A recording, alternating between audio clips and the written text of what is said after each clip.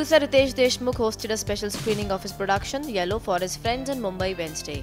Madhur Bhandarkar, Dia Mirza, Neil Nitin Mukesh, Satish Shah, Shreyas Talpade, among others, attended the screening and praised the film to the hilt, and even said that the film has immense potential for bagging several national awards. Based on the true story of a special kid, Gauri Gadgil, who is also playing the lead, the film is set to release Friday.